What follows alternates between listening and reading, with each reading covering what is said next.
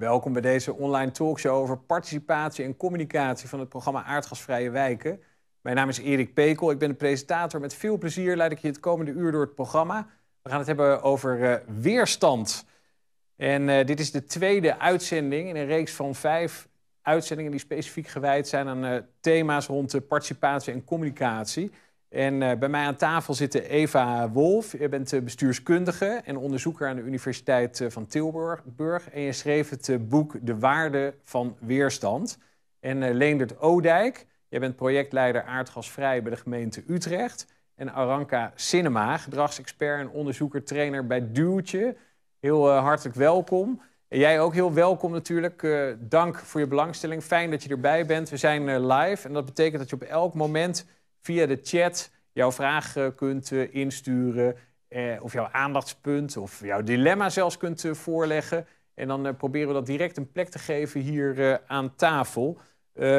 Ik, heb ook meteen een vraag voor jou voorbereid. Die verschijnt nu in beeld. In welke mate heb jij in jouw project te maken met weerstand? Klik op het antwoord van je keuze. En dan deel ik straks de resultaten. Eva, jij onderzoekt hoe je weerstand kunt eh, inzetten om juist tot betere besluitvorming eh, te komen. Eh, fascinerend onderzoeksgebied. Hoe ben je op dat terrein terechtgekomen? Um, nou, ik onderzoek niet per se hoe je weerstand kunt inzetten, omdat het een heel instrumentele benadering zou zijn van weerstand. Ik onderzoek meer wat weerstand betekent en ook hoe we het kunnen waarderen. Vandaar ook de titel van het boek Waarde voor Weerstand. Dus ehm, hoe we ermee zouden moeten omgaan. Want weerstand komt vanzelf wel, dat hoef je niet te creëren of in te zetten. Over het algemeen dient zich dat vanzelf aan. Um, ik heb onderzoek gedaan, een, um, een proefschrift uh, een paar jaar geleden geschreven in Antwerpen over een heel groot infrastructuurproject, namelijk uh, de Oosterweelverbinding. Um, en snel, dat is een snelweg die er nog steeds niet staat. De hele nieuwe ring rond Antwerpen, Inderdaad. het grootste infrastructuurproject ja, ja. dat we in tien jaar tijd in Europa hebben gezien. Ja, uiteindelijk is er nu dus een, uh, een hele grote ring, uh, overkapte ring die er gaat komen. Dus de ring gaat ook overkapt worden. Eerst was het vooral een stukje snelweg wat aangelegd zou worden. Um, nou, en als gevolg eigenlijk van dat conflict is de, om het met beleidstermen te zeggen, opgave verbreed. En er is er dus ook overkapping uh, gekomen van, van de bestaande ring. Dus ik heb dat conflict onderzocht, gekeken hoe dat conflict escaleerde. Um, wat we van het conflict konden leren. En via die weg ben ik dus uh, gekomen op mijn uh, pleidooi voor uh, weerstand, om dat meer te, meer te, waarderen. Ja, heel mooi. We gaan daar straks meer over horen. Ranke, jij bent psycholoog en gespecialiseerd ja. in positieve gedragsbeïnvloeding. En met Duwtje doen jullie ook een onderzoek naar interventies, vooral een één-op-één aanpak rond het programma Aardgasvrije Wijken. Daar is straks een heel ander programma nog over. We gaan er wel ja. een beetje op vooruitlopen vandaag ook. Maar als we het nou hebben over weerstand, wat maakt dat voor jou dan als gedragspsycholoog een interessant onderwerp? Nou ja, eigenlijk wat een beetje wat Eva ook al zei. Het, is gewoon iets wat altijd ontstaat. En ook in het kader van aardgasvrije wijken. Op het moment dat er eigenlijk geen weerstand zou zijn, dan is dat ook een signaal van, hè, leeft het wel? Is het wel aan de orde van de dag? Um, dus van weerstand kun je heel erg veel leren. En nou ja, de truc is natuurlijk wel van hoe kun je het zoveel mogelijk voorkomen. Want soms is er weerstand die je misschien had kunnen voorkomen. Um, maar ook inderdaad, wat, ja, hoe waardeer je het? Wat dat betreft zit ik wel met Eva op één lijn. Het is er, 9 van de 10 keer is het er. Maar je moet wel begrijpen waar het vandaan komt en hoe je er dan vervolgens mee omgaat. Leonard, uh, die proeftuin uh, Overvecht uh, Noord in Utrecht, dat was een van de eerste proeftuinen waar in de media ook veel aandacht aan werd besteed. Dat Lot van Hooijdonk, de wethouder, is natuurlijk heel erg enthousiast. En die speelt ook een hele belangrijke rol daar in de, in de verduurzaming. Uh, maar toch, ook al waren u een van de allereerste proeftuinen, is er op dit moment nog geen woning aardgasvrij. Heeft dat ook te maken met weerstand uh, die je daar tegenkomt? Um, deels, denk ik. Uh, wat vooral belangrijk is, is dat we nog steeds aan het rekenen zijn om een woonlastenneutrale aanbieding te doen. En vooral aan de mensen met koopwoningen. Want er zijn wel degelijk een aantal woningen van het gas afgehaald. Dat zien we vooral bij de huurwoningen. en we hebben ook een aantal woningen die al op stadsverwarming zitten. Um, en waar het elektrisch koken weggehaald is, hebben we net een pilot afgerond. zijn ook uh, nu de eerste 40 woningen van het gas afgehaald. Uh, dus er gebeurt wel wat. Maar voor de grote opgave, uh, 2500 woningen in Overweg Noord in particulier bezit, um, ja, daar hebben we nog geen uh, woonlastneutrale oplossing voor. Ja. Dus dat, is, dat hebben we ook wel geleerd met betrekking tot weerstand. De grootste weerstand zit, zit hem op wie gaat wat betalen wanneer. en we hebben als gemeente gezegd van nou wij vinden dat als we een aanbieding willen doen aan mensen, dat het in ieder geval woonlastenneutraal moet zijn. Ja, dus die onzekerheid over wat het mensen gaat kosten, die wil je in elk geval wegnemen. En dat blijkt een ontzettend lastige opgave te zijn. En dat speelt gelukkig niet alleen bij jullie, hè, overal. hoe wissel je daarover uit met andere proeftuinen? Uh, nou we hebben een, met de eerste 27 PHW-gemeentes hebben we sowieso een appgroep. Um, dat wil niet zeggen dat we daar vaak contact over hebben. Maar wat je wel merkt is dat juist de bijeenkomsten bij het PHW uh, en dan vooral naast het uh, reguliere programma tijdens de koffie, dat we daar juist, daar vinden juist de uitwisseling over plaats. Hoe het in andere wijken gaat. En soms ga ik ook wel eens bij een andere wijk langs. Of bellen we iemand van de coronatijd. Ja. Uh, we zijn live, dus ik heb ook uh, meteen een paar keer een vraag uh, aan jou. En dit is de eerste oproep om via de chat met elkaar uit te wisselen. Dus stuur graag in. Hoe ga jij eigenlijk om met weerstand in jouw project? Hoe pak je dat aan? Hoe voorkom je het? Of als het er is, hoe, hoe deal je er dan mee? We zijn heel benieuwd. dan kunnen we straks een paar delen. En ik denk dat iedereen daar veel steun aan kan, kan hebben. Ehm, ja, laten we dus uh, deze vraag uh, beantwoorden. Hoe ga jij om met weerstand? Laat ons dat weten via de chat.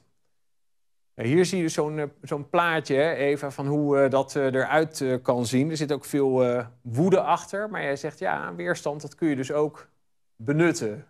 Mm -hmm. Hoe dan?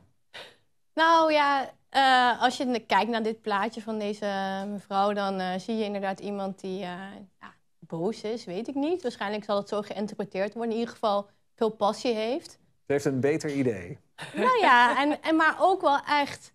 Uh, het, het, gaat er aan het hart wat er gebeurt. Juist. En dat is natuurlijk iets wat heel erg mooi is. Dat burgers uh, iets geven of dat het publieke domein hen aan het hart gaat.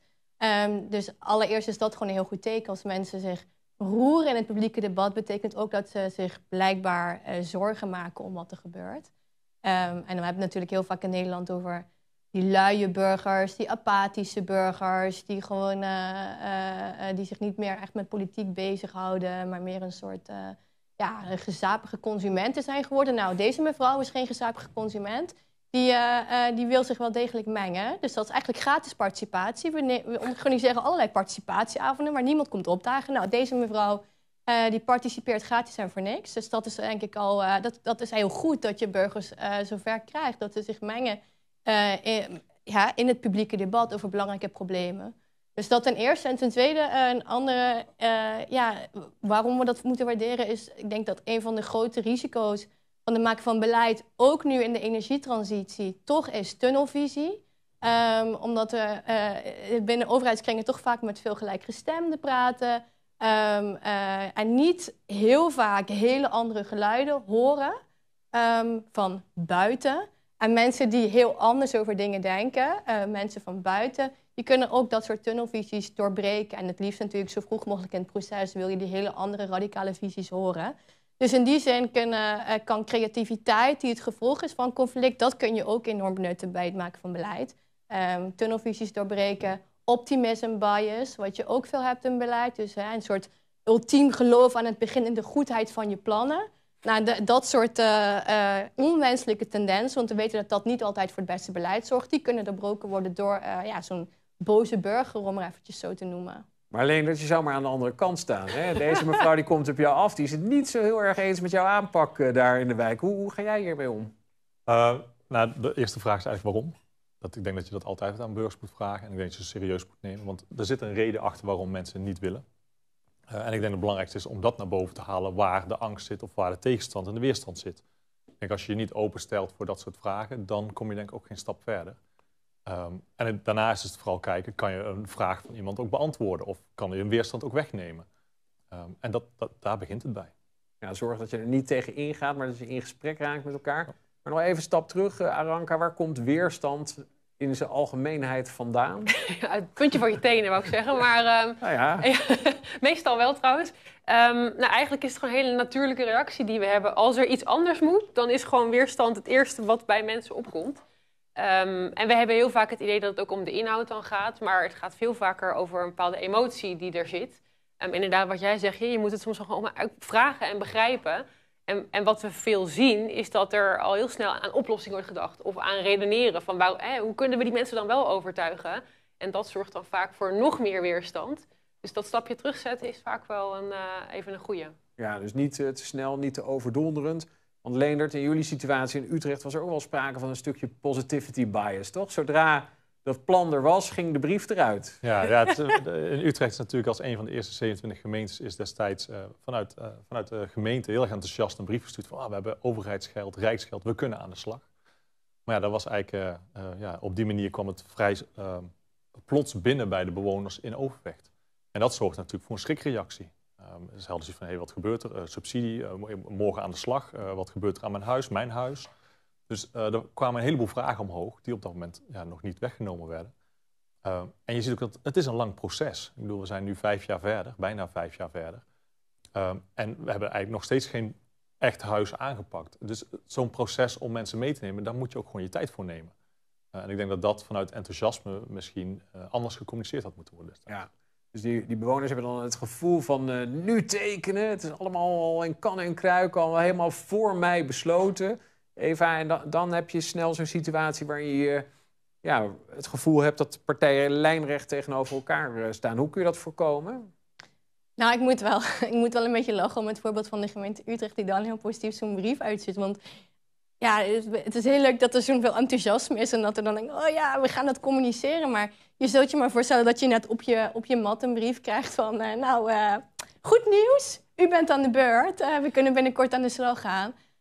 Um, ja, de, mensen die niet zo goed weten wat dat voor hen inhoudt. Um, en die het waarschijnlijk ook oprechte zorgen hebben dat het, uh, uh, ja, dat het vooral overlast voor ze gaat opleveren of ja, geld gaat kosten. Uh, ja, die, dat doet nogal wat als je dan te horen krijgt dat de overheid plannen met je heeft, maar daar niet, daar niet echt een open gesprek meer over lijkt te kunnen gaan plaatsvinden, omdat men het allemaal al heel goed heeft uitgedacht. Dus probleem, ik denk... Het probleem bij ons was ook dat we op dat moment ook nog niet de oplossing hadden. Dus ja. we hadden wel de, uh, bericht van hey, er gaat iets gebeuren, maar we hadden nog helemaal geen concrete oplossing. Hoe dan, wanneer dan, hoeveel geld gaat kosten. Ja. Al dat soort vragen konden we ook niet beantwoorden, dus die werden wel in de, in de zaal gesteld. Ja. ja. op het moment dat je daar niet op kan reageren, dan, ja, dan zorgt dat al denk ik alleen maar voor meer weerstand. Ja, voor heel veel onrust denk ik ook. Het is misschien een beetje te vergelijken met aan een gebied aankondigen, ja, u bent zoekgebied uh, voor windmolens. Maar we weten nog niet precies uh, wat voor type, wat we gaan doen, of u, of, het ermee te of u er echt mee te maken krijgt wat de overlast gaat zijn. Ja, het is nogal wat wat je dan aan mensen communiceert. En het is denk ik wel logisch dat mensen daarvan schrikken en denken, ja oké, maar heb ik er eigenlijk wel zin in? En even, het kan anders. Eh, hoe moet je het aanpakken dan? Uh, nou, ik denk allereerst is het belangrijk dat je de, het gesprek open houdt. Dus uh, tenminste, als je echt geïnteresseerd bent in participatie, en dat is natuurlijk altijd de vraag. Hè, want soms zeggen we wel dat we geïnteresseerd zijn in participatie, maar hoe we het dan aanpakken, uh, lijken de plannen toch voor het grootste deel al uh, bedacht te zijn. Maar als je echt geïnteresseerd bent in mensen meenemen en hun ook hun idee een plek geven, dan zou er natuurlijk een openheid moeten zijn in wat we precies gaan doen en hoe we het gaan doen. Dus dat is het belangrijkste als het op inhoud aankomt, een open, een open gesprek voeren qua procedures uh, heel veel ruimte in de procedure bouwen, zodat je op onverwachte omstandigheden kunt reageren. Ik zeg ook altijd de point of no return zo ver mogelijk uh, uitstellen. Wat we heel vaak juist doen met beleidsprojecten, is dat we de belangrijkste contouren in het begin al vast klikken, zo noemen we het dan ook. En dan kun je er later niet meer op terugkomen. Nou, eigenlijk zou je het andersom willen doen, zodat je nog wat kan met de geluiden die zich opeens uh, manifesteren. En dan het allerbelangrijkste denk ik de relaties gewoon heel goed houden. Um, uh, en daar zit natuurlijk, ik weet dat ze bij uh, programma Aardgasvrije Wijken veel met de persoonlijke aanpak werken. Ja, dat ik denk uh, door mensen wel echt te benaderen, op zoek te gaan naar wat er leeft in zo'n buurt, met mensen om de tafel zitten. Als die relatie goed is, kun je denk ik, dan kom je er ook achter wat er bij mensen speelt. En dan kun je best wel nadenken over, oké, hoe kunnen we hier iets, iets tofs doen waar we allemaal beter van worden. Uh, maar dan moet die relatie wel goed zitten. En ik denk, het risico als je meteen zo'n brief uitstuurt, mensen schieten, uh, ja, die, die schrikken er heel erg van. Die hebben daar ook dan meteen misschien geen zin meer in. En dan heb je eigenlijk al een stukje relatie. Ja, heb je, heb je op het spel gezet. En ja, dat is, uh, ja, dat is heel jammer en gevaarlijk.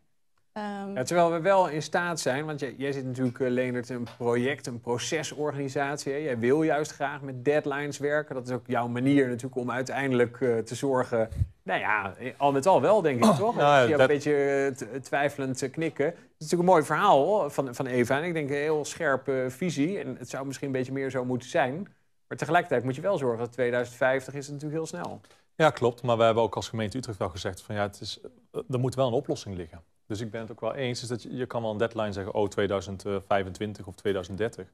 Maar het pad ernaartoe is veel belangrijker dan het doel halen. Want zonder de medewerking van de bewoners, en vooral bij energietransitie, waar mensen zelf een contract moeten aangaan of zelf iets aan hun huis moeten doen, ja, daar, moet je een, eh, daar moet je wel overeenstemming over hebben. Er moet er ook een wil zijn. Dus bij mij, natuurlijk werken we wel naar een doel, maar eh, ik ben zelf ook niet van, nou dat moet per se op, dat, op die datum moet iets klaar zijn. Als dat een paar maanden verschuift of een half jaar verschuift, omdat als dat beter is voor het proces, dan denk ik dat dat goed is. En vooral in de proefwijken waar we in zitten, waarin alles nieuw is, waar we alles nog moeten ontdekken, hoort die verschuiving in de tijd er denk ik wel bij om juist eh, ja, een goed gevoel te krijgen bij het proces.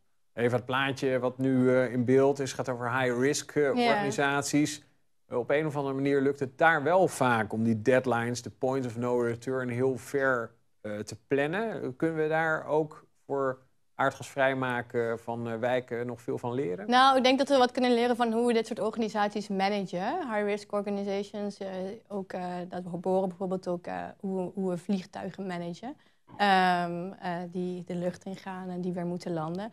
Daarvan weten we dat twee, twee kenmerken aan van dit soort organisaties. A, high risk. Dus je zit in een hele onzekere omgeving. Zo'n kerncentrale is, is inherent eh, eh, onzeker wat, het, wat er gebeurt als er iets misgaat, hoe de wat het voor de omgeving gaat doen. Ehm, eh, en ten tweede, high impact. Dus als er iets misgaat, is er een, ook een hele grote impact.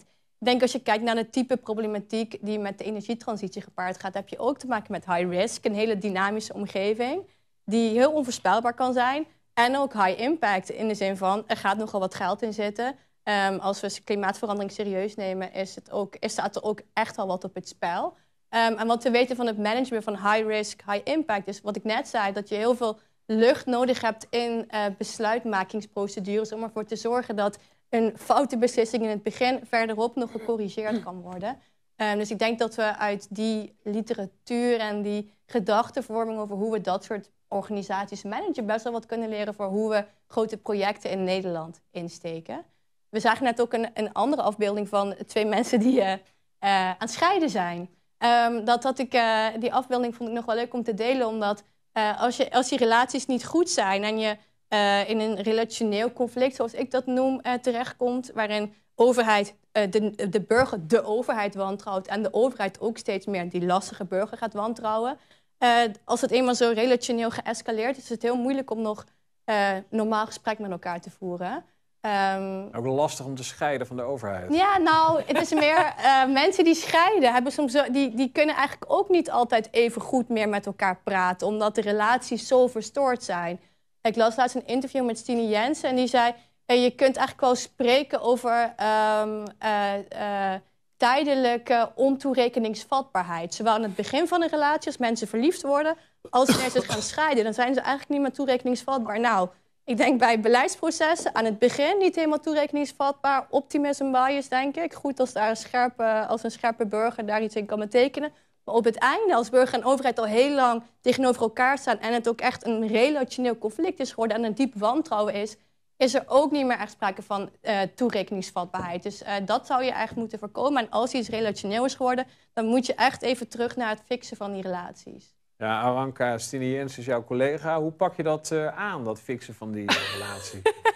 Is dat Veel, een eh, beetje een te wijntje erbij zou ik zeggen. Ja? Maar, eh, nee, Nou ja, nee. maar dat gebeurt letterlijk ook wel, toch? In Ja, proefwoningen En, eh, Nou ja, en wat je veel ziet is dat er bijvoorbeeld eh, een klein groepje is die, die nou ja, echt fel tegen is of waar die relatie dan eh, geschaad is.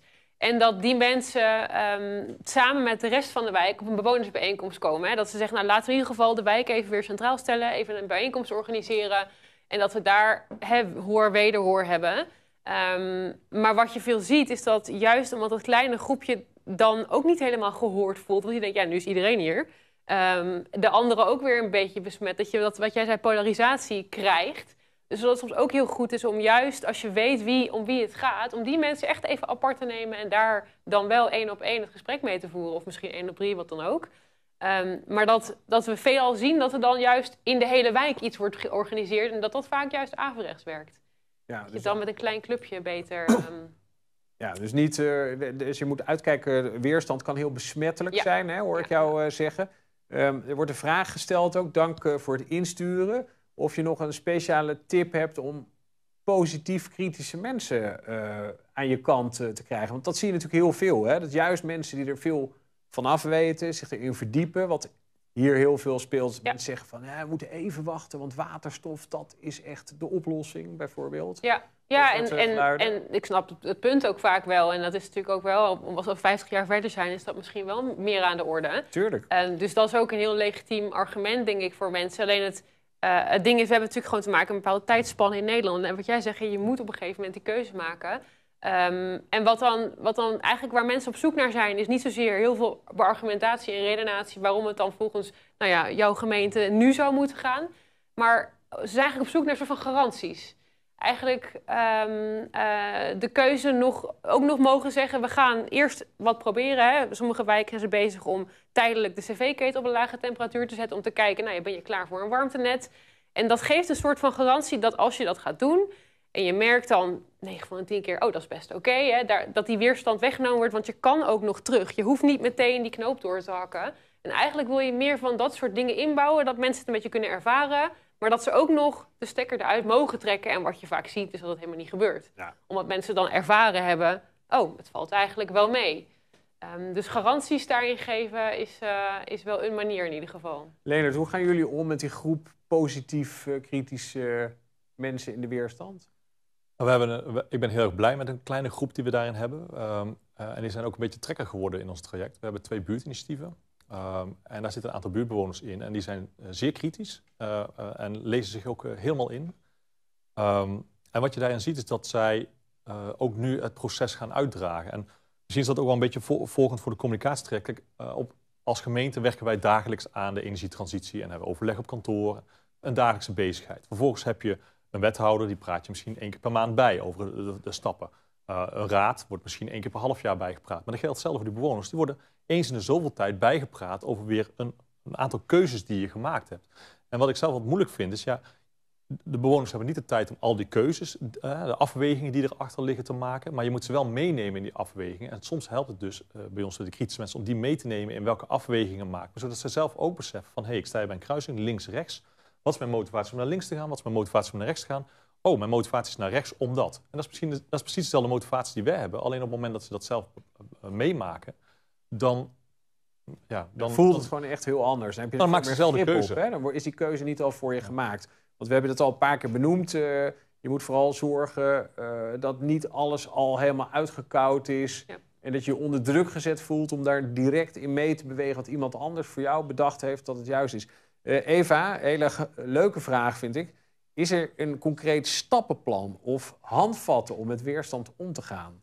Ja, dat zou natuurlijk ja, dat zou mooi zijn als we dat zouden hebben. Ik denk dat dat, eh, dat, dat er niet is. Eh, dat dat, ik ben daar ook zelf geen voorstander van, omdat ik denk dat goed met conflicten omgaan enorme contextgevoeligheid vergt. Omdat elke gemeenschap zijn eigen geschiedenis kent en je dus niet algemene, een algemeen recept kan geven voor eh, die eh, wensen van die bewoners eh, ja, goed in acht nemen. Dus je kunt in, hè, dingen die ik zeg over conflicten, ehm, eh, die het makkelijk maken om ze te laten escaleren. Te strakke deadlines, slechte relaties, altijd desastreus.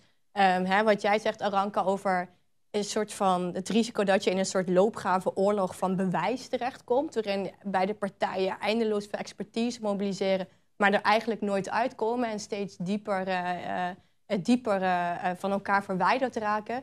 Dat soort dingen moet je voorkomen. Dus ik denk, je kunt je bewust zijn van risico's rondom, rondom conflicten slecht voeren, maar er is geen stappenplan om een conflict zo te voeren dat alles strak en soepel gaat. Dat kan nou eenmaal niet, denk ik, bij grote veranderingen zoals de energietransitie. Ja. En ik denk dat we dat dus ook niet moeten willen. Dat je gewoon echt moet weten wat er in een gemeenschap speelt om daar goed op te kunnen reageren. Ja. Nou, dat sluit ook heel goed aan hè, bij de antwoorden die allemaal binnenkomen op die vraag: hoe ga jij om eh, met weerstand? Heel veel dank eh, voor het insturen. Veel is al eh, gezegd. Ik, ik, lees er gewoon snel nog even twee op. praten over de koppelkansen wordt er ook genoemd in plaats van benaderen via de warmtetransitie. Dus veel meer op het niveau van wat er echt speelt bij bewoners en wat, wat mensen herkennen op hun wijk en op hun, hun huisniveau. Fictie en feiten onderscheiden, dus goed luisteren, iedereen serieus nemen en proberen te begrijpen wat er achter de weerstand uh, zit. Maar ook eentje, werkgroep instellen die de feiten onderzoekt. De werkgroep heeft een onafhankelijke voorzitter en kan onafhankelijk deskundigen inschakelen. Hè? Dan heb je echt het gevoel dat je serieus genomen Ja, exact. En dan krijg je dus ook, als je dat onafhankelijk belegt, dan kun je ook zorgen dat, uh, als, als het echt zo is dat mensen radicaal anders denken over de feiten, uh, dan uh, is eigenlijk de enige manier om er met elkaar af te, uit te komen, is om dat ergens onafhankelijk te beleggen Um, en allebei de partijen vertrouwen te laten hebben in dat onafhankelijke instituut of, of, onafhankelijke groep. Dat noemen ze ook wel joint fact-finding. Um, als je met elkaar in conflict bent, is dat eigenlijk de enige manier om nog met elkaar over de feiten te kunnen praten. Omdat als het alleen maar is, ik heb dit gelezen met deze onderzoekers... en de andere partij zegt, ja oké, maar ik heb dit gelezen met deze onderzoekers... ja, dan kom je er niet uit. Dus dat onafhankelijk beleggen is dan volgens mij de enige manier waarop je over feiten kan praten. Dus ja, echt scheidingsmetafoor is dat de mediator... Ja, nou ja, we hebben natuurlijk niet voor niets met mediation te maken in geëscaleerde conflicten. Volgens mij kan de overheid soms best wel, uh, best wel wat mediation gebruiken in ja. uh, conflicten met burgers. En in Oosterwil, daar in Antwerpen, is daar ook uh, expertise team ingezet, een onafhankelijke partij? Ja, um, na heel veel jaren uh, conflict um, is, er, uh, uh, is er een zogenaamde overkappingsintendant ingevlogen. Een soort inhoud, iemand die um, inhoudelijk wel belegd was, een architect. ook iemand die veel van stedelijke planning wist. maar wel totaal onafhankelijk, dus die in Amerika had gewerkt de afgelopen jaren. Alexander de Hoog heet hij. Um, en die is er, uh, met de, heeft heel lang met de groepen om de tafel gezeten. Dus als het gaat om efficiëntie, het heeft twee jaar geduurd. Uh, maar uiteindelijk is daar wel iets uitgekomen wat niemand voorstelbaar hield toen ik met mijn proefschrift begon. Um, het onmogelijke is toch gebeurd om die tafel. Dus dat laat wel zien wat een mediation proces kan doen. En ook het echt open inhoudelijk toch uiteindelijk durven te benaderen van de beslissingen die eerst nog uh, uh, niet open te breken leken. Want eerst, wat er uiteindelijk is toegezegd aan het begin van het proces, zei de overheid um, uh, dat ze aan het inhoudelijke beslissing niet meer gingen tornen. En uiteindelijk bleek dat toch wel te kunnen. En heeft ja. dat allerlei dingen gebracht. Namelijk dat die actiegroepen en die overheid samen een akkoord hebben kunnen sluiten. Ja, heel mooi. Dus een externe expertgroep in het leven roepen. Dank voor het insturen daarvan. Blijf graag ook uh, insturen. Ik kan ze niet allemaal uh, opnoemen. Het zijn er heel veel meer. Na afloop uh, zorgen we dat je die allemaal ontvangt. Dus blijf vooral insturen als je dat niet hebt gedaan. Hoe ga jij om met weerstand? We gaan kijken naar een kort filmpje van de gemeente Den Haag. Peter Loonstra, die vertelt waartoe weerstand bij hun geleid heeft. Dag beste mensen, ik ben Peter Loonstra, communicatieadviseur energietransitie voor de gemeente Den Haag. Ik werk onder andere voor de wijk Zuidwest. Hmm. Zuidwest is een groot gebied met ongeveer 70.000 inwoners en bestaat uit vier verschillende wijken. Morgenstond, Vrederust, Bouwlust, Moerwijk. Het is een multiculturele wijk, helaas een wijk ook met veel sociale problemen. Ik sta hier nu in de proeftuin. In de proeftuin staan zes verschillende appartementencomplexen, waarvan de één volledig bezit is van de woningcorporatie en de overige vijf is gemengd zowel huurwoningen als koopwoningen met een VVE. De woningcoöperatie en de gemeente willen heel graag overstappen op schone energie en hebben de bewoners van dit appartementencomplex een aanbod gedaan. In de vorm van een gratis inductieplaat en een gratis inductiepannenset. De meeste bewoners, minimaal 70% heeft gezegd, dat zie ik helemaal zitten, ik doe graag mee en uh, kom erop met die inductieplaat en die inductiepannenset. Dus ze staan heel positief in overstap op schone energie. Helaas hebben drie bewoners gezegd, dat zie ik helemaal niet zitten. Er zijn ook gesprekken geweest met deze bewoners en de woningcoöperatie. Er zijn rechtszaken gevoerd, maar de deur blijft helaas dicht. Dus mijn vraag aan jullie is, hoe gaan we om met deze kleine groep bewoners, ook nog eens heel actief is op sociale media, zonder het draagvlak te verliezen bij de overige grote groep bewoners die wel positief staan op de overstap op schone energie. Ik hoor het graag van jullie. Alvast bedankt. Dag! Jij heel veel dank voor het insturen van uh, deze prikkelende vragen. Ja, Lene, het lijkt me echt typische vraag voor jou. Ja, ik heb er geen oplossingen voor, helaas. Nee, ja, het is herkenbaar. We kennen natuurlijk ook uh, de kaas uit Purmerend, waarin uh, drie of vier, ik weet niet exact, gasweigeraars waren. Um, die uiteindelijk op gas zijn blijven zitten en waardoor een extra gasnet is aangelegd. die ook niet te sturen zijn. Wij zijn in Utrecht daar wel op voor aan het sorteren. Wij zijn via de crisisherstel bijvoorbeeld aan het kijken of we die mensen die niet willen uiteindelijk wel mee kunnen krijgen. Um, maar ja, dat is een, een wet in ontwikkeling, is wel door de Tweede Kamer nu goedgekeurd, moet nog door de Raad van State en de Eerste Kamer. Dat is een, een juridisch drukmiddel wat je misschien eigenlijk niet wil uitvoeren. want je wilt liefst dat mensen vanuit eigen beweging overgaan. Maar uiteindelijk ja, voor het, de maatschappelijke aanpak zul je misschien wel die, die tool moeten inzetten. Ja, want je kunt natuurlijk denken, 56 appartementen, 53 gaan er mee, drie niet. Maar dat betekent zo 60, 70.000 extra kosten natuurlijk als je die mensen wel gewoon op een extra gasnet aan laat sluiten. Is dat een goed idee, Eva, om ze gewoon te forceren in hun beslissingen, dit af te dwingen met zo'n nieuwe wet? Als je wil dat de relaties tussen de overheid en de burgers enorm gaan verslechteren, is dat denk ik wel een heel goed idee. Maar als je dat niet wil, dan zou ik dat zeker niet. niet ja, zou, ik vind dat een. ja, ik zou dat niet adviseren vanuit mijn kennis over conflicten. Ook omdat, ja, dat is natuurlijk ook een beetje tegenstrijdige boodschap die je als overheid gaat zenden. Aan de ene kant, we willen met u in gesprek en we willen er samen uitkomen. Maar dan aan de andere kant, als het dan toch niet lukt, nou, dan, uh, dan roepen we ons op een crisiswet. En dan, je zegt dat we ze meenemen, maar dan dwing je ze natuurlijk eigenlijk gewoon.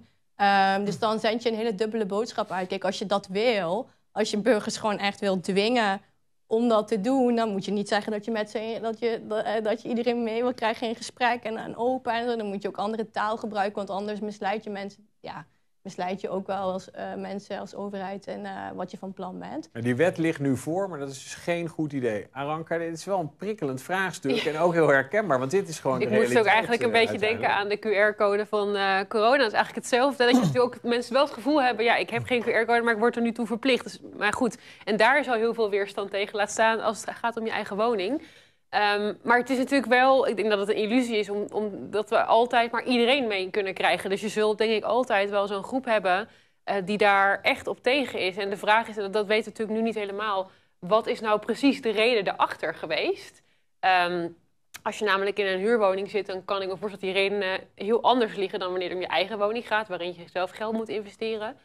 Um, wat we ook wel eens terug horen, is dat het vaak gaat om... ja, ik moet dan heel anders gaan koken ineens. Dat mensen zich daar vooral heel erg druk over maken. Uh, ja, en dat, wat, je, wat je ziet in een aantal wijken is dat ze dan zeggen... nou, dan gaan we ook in de wijk een kookcursus aanbieden. Hoe kook je op uh, elektriciteit? Um, dat is natuurlijk wel een intensieve aanpak... maar voor heel veel mensen kan dat een beetje die angst wegnemen... en dat ze dan toch beseffen, in een eerdere fase al... dat is wat jij ook vooral aangeeft, van... Hey, ik, ik kan dit wel, ik wil dit wel, maar die, die zorgen zijn vaak heel basaal, heel fundamenteel aan de dag, aan de waan van de dag, zeg maar.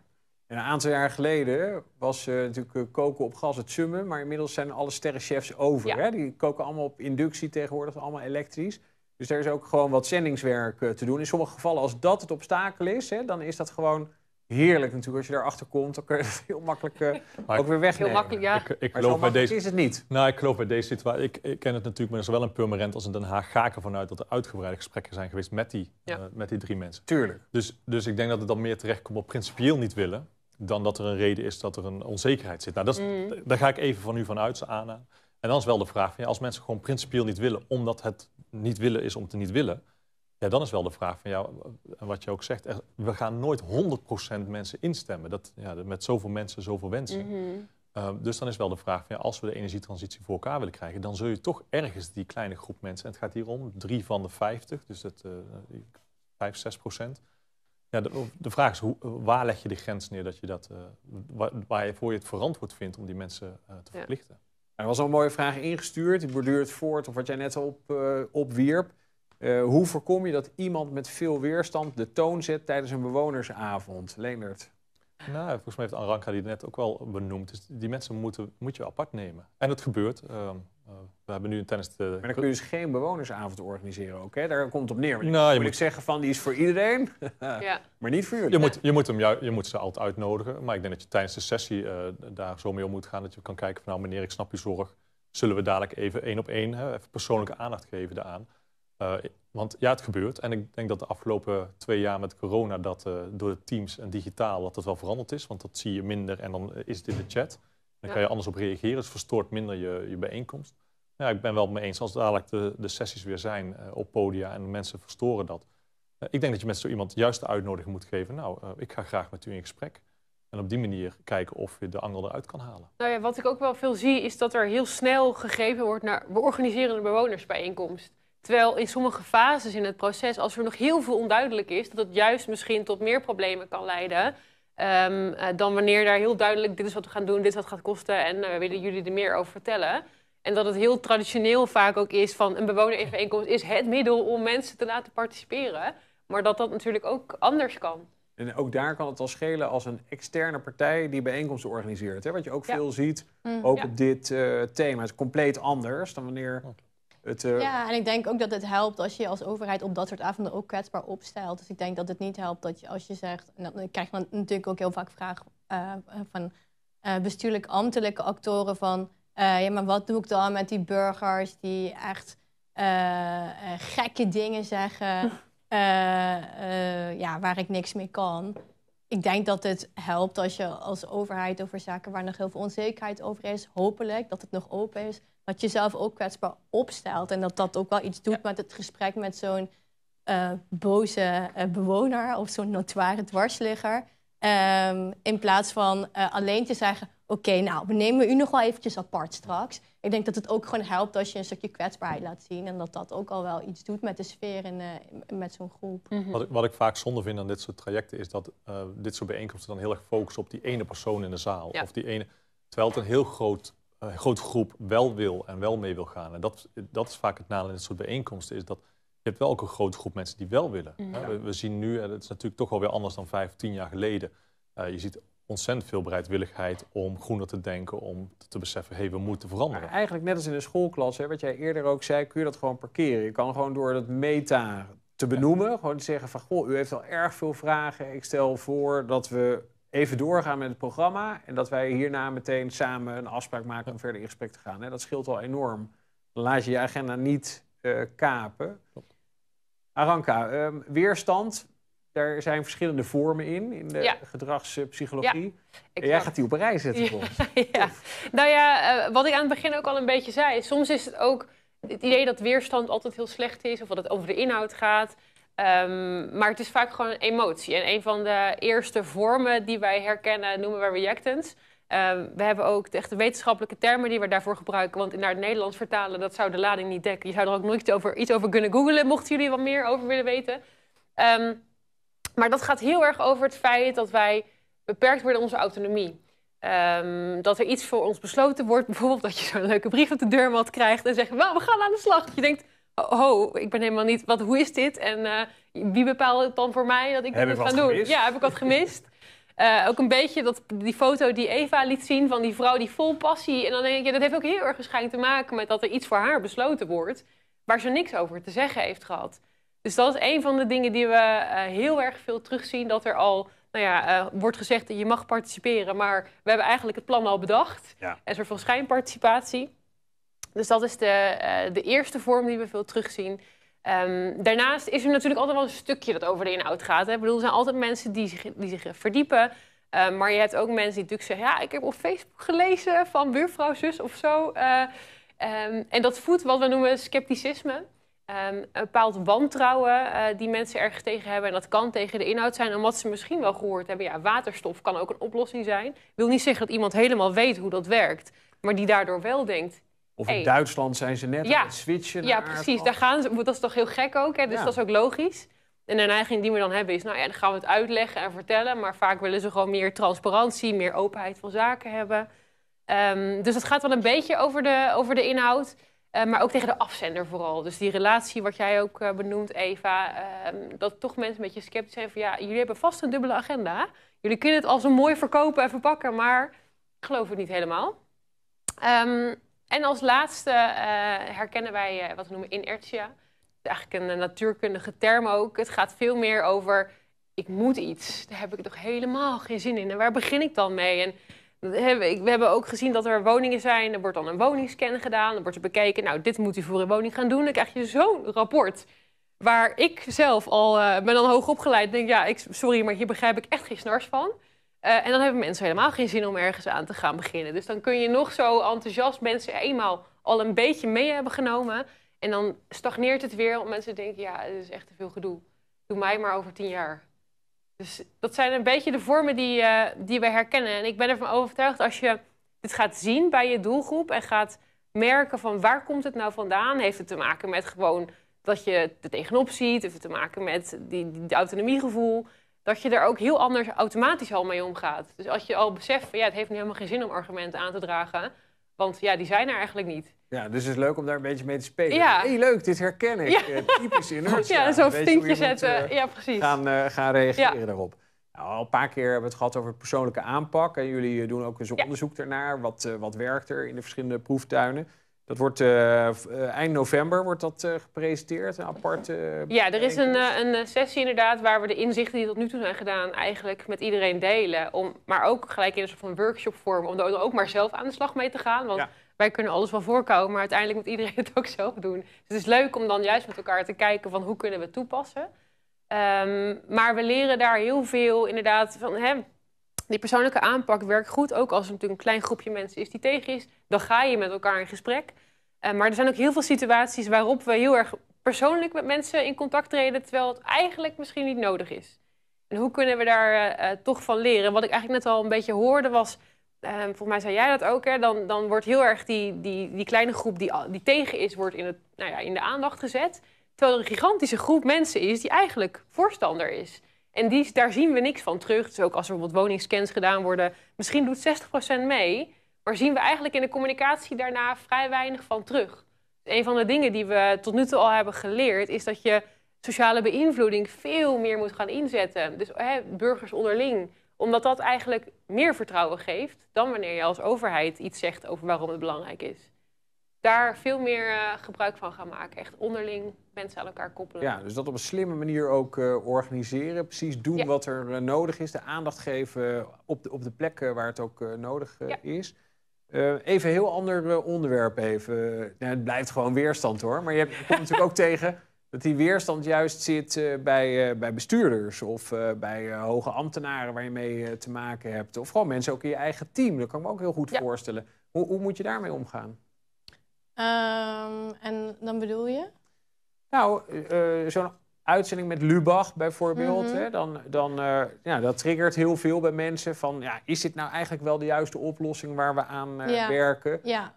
ja, op een gegeven moment ben je zo blootgesteld aan allerlei meningen en ontwikkelingen dat je zelf ook misschien wel een keer twijfelt. Ja, nou, ik denk, ik, ik pleit altijd voor uh, het organiseren van conflicten. Ook niet alleen met de burger, maar ook de overheid. Uh, een goede overheid organiseert haar eigen conflict. Ook om ten te voorkomen of te vermijden. Dus ik denk het feit dat. Ik hoop dat er conflicten in de organisatie zijn. Ik hoop dat er mensen zeggen: nee, ik wil dit niet, want ik heb oprechte zorgen. Ik hoop dat dat onderwerp van discussie is en niet gewoon gezegd wordt: joh, het is besloten, hou jij alsjeblieft even je mond. Dus ik hoop dat dat soort gesprekken juist, uh, juist uh, plaatsvinden. Eigenlijk voordat je uh, de, de, de, de stoep van, voor de, op de stoep van burgers staat, hoop ik dat dat soort gesprekken al hebben plaatsgevonden. Ja. Ik denk als je intern je conflict goed organiseert, dan kun je misschien al een heel stuk zorgen vroeg erkennen die je, die je anders zou tegenkomen als je met burgers gaat praten.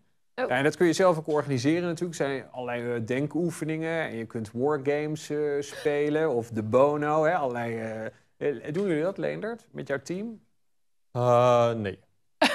Zal ik eerlijk Je gaat niet de weerstand simuleren. Want dat kan nou, wel leuk zijn. We, hebben wel risico, we zijn wel op dit moment bezig met een risicosessie. En daar proberen we vooral naar boven te halen wat speelt. Maar echt wargames-achtige dingen, dat niet. Ja, ik, ik, ik, wil daar ook nog even over zeggen. Want um, dus we praten nu de hele tijd zo over de burger en ook de, de, lastige burger. Maar als je je gewoon inleeft in iemand die te maken krijgt met een overheid die plannen heeft voor zijn of haar woning. Je moet je ook voorstellen dat van die notoire dwarsleggers, die, dat zijn vaak mensen die, denk ik, al een hele relatie hebben met de overheid. Die uh, dit specifieke dossier overschrijdt, die misschien dingen mee hebben gemaakt met de overheid, die uh, legitieme redenen geven om weinig vertrouwen te hebben daarin. Dus ik denk dat echt inleven in mensen in zo'n flat in, uh, nou ja, ik weet niet waar dit was, maar jij werkt natuurlijk in Overvecht. Echt proberen daarin in te leven uh, en be begrijpen hoe het toch kan dat iemand zo weinig vertrouwen heeft. Waar denk ik hele goede redenen voor kunnen zijn, zeker als het gaat om sociale huur waarschijnlijk. Dat dat ook wel een stukje, dat het dat hele belangrijke informatie is om te hebben in zo'n zo'n proces. Nou, waar ik eigenlijk een beetje aan dacht toen je die vraag stelde, hè, weerstand bij, bij de ambtenaar, bij jezelf. Is, wat mij ook opvalt, is, uh, we zijn natuurlijk bezig met interventieontwikkeling. En, ja, je wil kijken naar andere dingen dan die normaal al gedaan worden. Hè, want dat hebben we geleerd. We weten bijeenkomsten doe je zo, doe je zo of doe je juist niet zo. Um, en wat we ook zien is dat iets anders doen ook vaak bij de beleidsmakers, communicatieadviseurs ook heel spannend is. En dat het vaak bij hunzelf weerstand oplevert. En daarom heel snel terugkrabbelen naar laten we dan maar gewoon weer een brief sturen. Um, en dat ja. eigenlijk dat, dat doen we dat niet gedaan. Als je bijvoorbeeld kijkt, de laatste, we zijn, uh, we hebben nooit meer. Ja. Nou, wij, doen nog, wij sturen nog steeds brieven. Nou, maar dat is ook, dat is ook niet slecht hoor, dat zeg ik dat niet. Dat is ook de zoek. Kijk, uh, we hebben als taak dat we iedereen uh, informeren. Ja. En we weten dat als er een brief in de bus valt, dat we in ieder geval die persoon bereiken. Of die persoon dan de brief leest, dat is aan de persoon zelf. Maar dat is wel, dan weten we in ieder geval zeker dat alle huishoudens een brief krijgen. Dus dat middel, dat, dat, dat moet je eigenlijk gewoon inzetten. Daarnaast, we hebben nu twee onderzoeken, afgelopen twee jaar twee onderzoeken gedaan. Dan zijn we juist in die wijken heel actief bezig met hoe kunnen we op een andere manier uh, mensen inlichten. We hebben luisterpalen gehad. Dus als mensen de supermarkt uitkwamen, stond er een oude ANWB-paal. Konden ze op drukken, kregen ze iemand ja, aan de lijn, oh ja. konden ze een gesprek aangaan. Uh, we hebben heel veel social media gebruikt uh, in de laatste communicatietraject. Dus we zoeken juist wel het hele spectrum op om te communiceren. Alleen ja, ieder, ieder medium bereikt je een ander type mensen. We kwamen er ook achter. We hebben heel bewust een, dat noemen wij energiedialoog opgericht. Overweg Noord is, zijn, wonen 16.000 mensen, 8800 huis, huishoudens. Even heel snel keer twee. Nou, laten we meteen even wat plaatjes, want we oh. hebben dat ook meteen gezien. Hè? Dus je hebt gestapelde woningen en uh, rijwoningen. Ja. En uh, dus het project startte met uh, 372 huizen in totaal. Dat is de proeftuin. Nu meteen opgeschaald al vrij snel naar 8800 woningen die je van aardgas af wil halen. Maar wat, wat, is het voor, voor wijk? Ja, hele diverse. Het, het, ja, het is echt een, een groot dorp. Uh, de, de, alles, alles het is jaren 60, uh, maar ook er zitten een aantal plukjes nieuwbouw tussen. We hebben vrijstaande huizen, we hebben woonarken. En, uh, ja. dus er is Huurwoningen en koop door elkaar heen. Alles is, al, we hebben alles in de wijk is eigenlijk aanwezig. En dat zien we ook wel in de benadering. Dat ja, huurders benaderen je anders dan de kopers. Kopers zitten veel meer met andere vragen dan de huurders. Ja. Dus, dus hoe gaan we nou communiceren? We hebben ook wel eens gekeken, ja, kunnen we dat dan splitsen? Maar we merken ook dat we dan ook weer in de, de AVG terechtkomen. Mogen we echt eh, op, op adres specifieke dingen benaderen? We weten ook niet bij iedereen wat de huissituatie is, qua inkomens en uh, hoog inkomen, laag inkomen. Um, dus we hebben wel gezegd van ja, we moeten één overal communicatie hebben voor de hele wijk.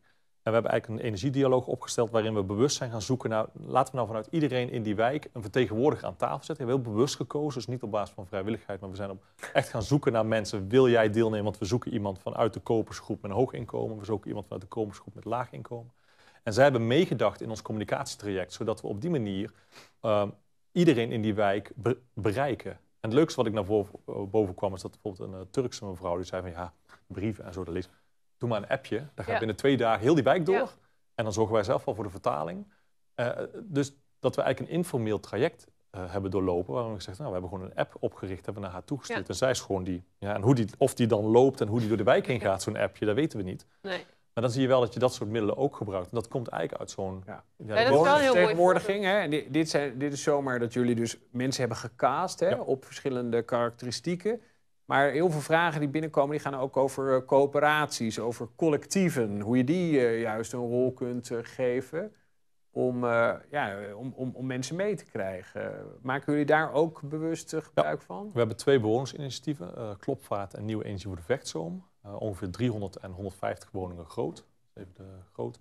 Nou, daar zitten we actief mee aan tafel, al, al vier jaar. Die zijn, die zijn zeer actief betrokken. Um, Waar mijn eigen zorg zit, is dat wij zeer actief betrokken zijn met, uh, ja, met de kopgroep van die twee buurtinitiatieven. Maar dat wij ons dan weer afvragen hoe communiceren zij dan weer met hun achterban. Ja.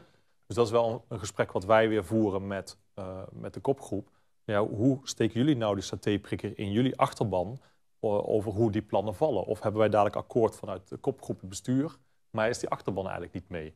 Dus daar, zit nu, hè, de, de, de, daar ligt nu een beetje onze focus op. Van, ja, hoe zorgen we nou voor dat ook hun achterban meegenomen wordt in die gesprekken die wij voeren. En wij zijn nu heel actief bezig om twee andere bewonersgroepen eigenlijk te enthousiasmeren. We hebben de Vechtdijk. Uh, dat is een, een, straat waar vrijstaande woningen, maar ook woonarken aan liggen. Dus echt hele typische andere typische woningen. En we hebben een nieuwbouwwijkje. Uh, waar we nu eigenlijk aan het zoeken zijn van hoe kunnen we nou in die wijken ook een beetje dat buurtgevoel op gaan wekken. En hoe, hebben we daar vertegenwoordigers voor? En de Vechtdijk zijn er drie mensen opgestaan die hebben gezegd, wij gaan dat wel doen. Uh, en in uh, Antonius kwartier zijn we nu nog een beetje zoekende van ja, uh, wie wil dat doen. Dus zo zijn we wel je mobiliseert uh, mensen in de wijk en eerder uh, casten ook mensen om meer uh, inzicht te krijgen. Aranka, jij wilde daarop aanvullen, had ik het idee. Oh, nou volgens mij ben ik wel weer kwijt hoor. Oh, oké. Okay. Als die nog komt, dan zal ik hem zo aanvullen. Ja, dan inderdaad. doe ik even een oproep aan alle deelnemers. want we zijn nog benieuwd wat voor dilemma's, waar loop je tegenaan? Stuur wat praktijksituaties in als het gaat over weerstand.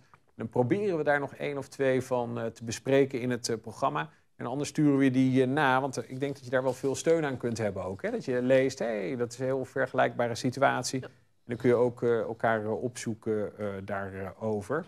Ja, ondertussen komt er, komt er veel nog binnen. Eva, wat, wat zou jouw tip zijn rond die aardgasvrije opgave. Hoe, er is al ontzettend veel gezegd natuurlijk over omgaan met uh, weerstand en hoe je proces anders zou kunnen indelen, mm -hmm. anders zou moeten indelen.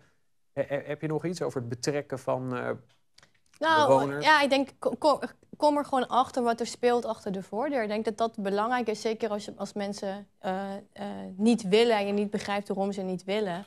Ik denk dat je daar ontzettend veel informatie uithaalt. Het zorgt er ook voor dat de relatie persoonlijk is en goed is.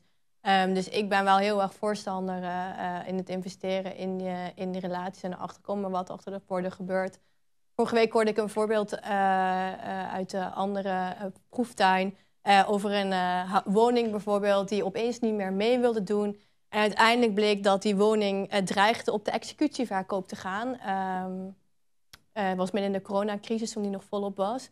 Ja, nee, dat, dat soort dingen, dat hoor je niet zomaar van mensen, dat die spelen. Want dat zijn ook gevoelige onderwerpen die mensen niet graag delen. Maar als je relatie goed is, dan ont, ontvang je dat soort informatie wel. En dan kun je als gemeente kijken van, ja, hoe kunnen we dingen koppelen om die term te gebruiken? Mm -hmm. Hoe kunnen we dingen dat zo inrichten dat mensen ervan, hoe benefits, nou dat het ook burgers zijn die ervan benefiten. Dus ja, dat is denk ik mijn belangrijkste tip. Investeren in die relatie. Ja, heel mooi. Uh, ondertussen komt op de, op de chat een hele mooie suggestie uh, binnen. Uh, iemand die zegt, ja, we kunnen het wel hebben zo over weerstand. Super interessante discussie. Maar is het niet fijn, schrijft diegene, van als er gewoon een lijst komt met alle weerstandsargumenten en, en hoe je die moet counteren. Is er al zo'n lijst, Leendert? Nou, bij ons niet. ik vind het wel heel leuk ja. bedacht. Nee, ik denk dus dat daar die, de oplossing dus ook niet per se ligt. Hè? Dat, nee, dat, ja. uh, Geen technische procesmatige aanpak. Meer vanuit de aandacht, ja. het tango, het meedansen, Ja, maar ik denk dat het misschien wel kan helpen om het gesprek te voeren. Dus niet zozeer welk argument breng je nou nee. in, maar wat is nou een goede manier om hierop te reageren? Hè? Net zoals je misschien gespreksleider aan de nodig hebt om ingewikkelde gesprekken te voeren over bijvoorbeeld uh, vaccineren of zo. Wat ook niet helpt om dan allerlei technische argumenten te gaan mobiliseren. Ik denk dat het wel zal helpen als mensen ja. weten hoe voeren we dit soort gesprekken. Nou ja, dus het is wel iets waar wij mee bezig zijn. Want we doen natuurlijk al die, die, die interventies, testen we nu in proeftuin. We zijn aan het onderzoeken en uiteindelijk is het resultaat daarvan dat wel een handreiking komt voor gemeenten met die lessen, hoe pas je dat dan toe? En of dat dan een checklist wordt of wat dan ook, dat laten we nog in het midden. Maar dat is wel iets waar we aan, aan gaan werken en waar we iedereen ook in meenemen. Zo maar, maar, daar zijn we toch ook voor als proeftuin. Wij zijn, ja. toch, wij zijn de voorlopers die dit moeten ondervinden. Mm -hmm. En daar lopen we tegen allerlei zaken aan. En uh, ja, we doen dat nu, nou, vier jaar geleden is de eerste, zijn de eerste 27 proeftuinen geweest. Nou, de, de, inmiddels zijn er al meer bijgekomen.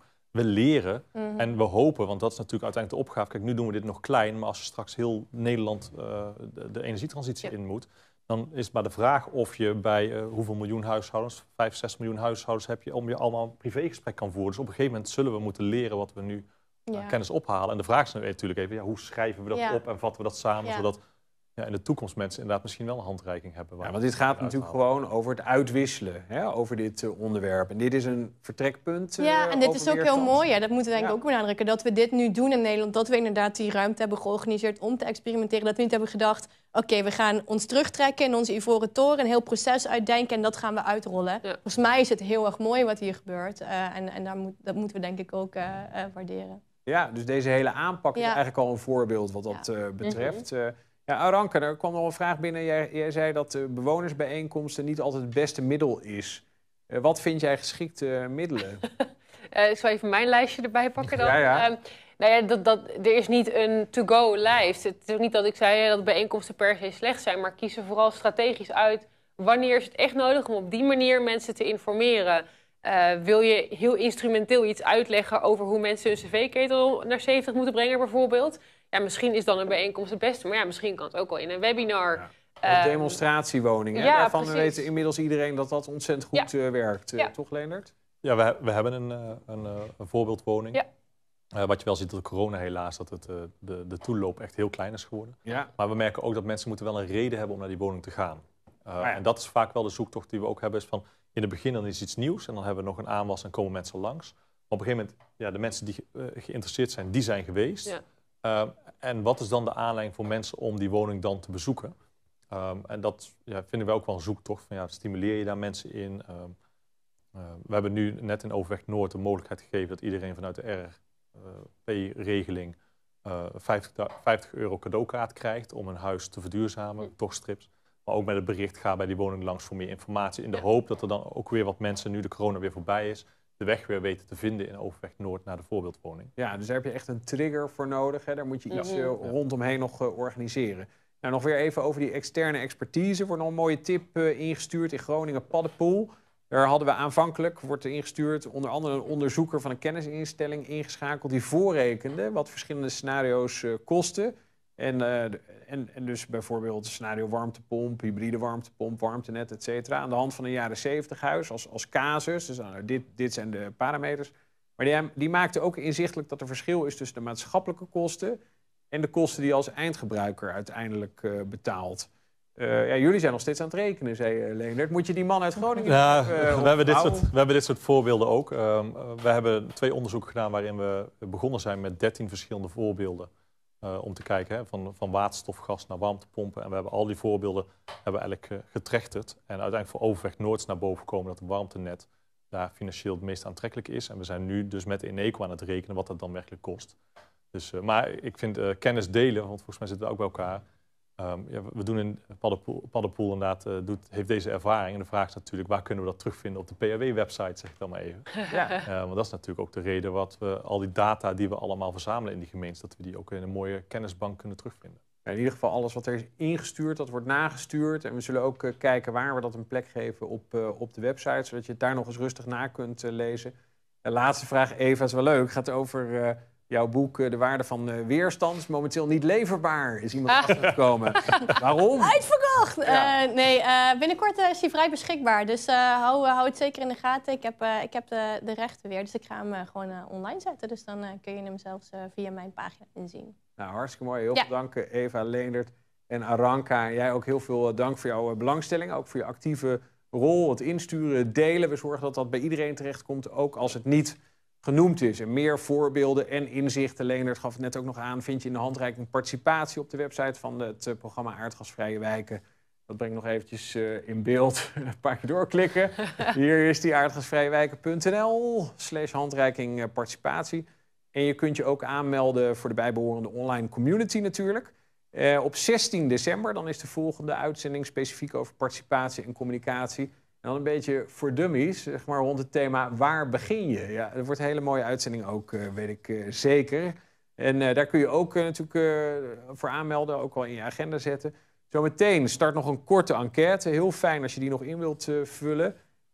en op de kalender, op de site van het programma Aardgasvrije Wijken... vind je nog een aantal fysieke bijeenkomsten, speciaal voor gemeenten. Want dat kan weer, weet je, we komen weer fysiek bij elkaar ook... Uh, onder meer de workshop over het uh, bereiken van het stille midden op uh, 2 november.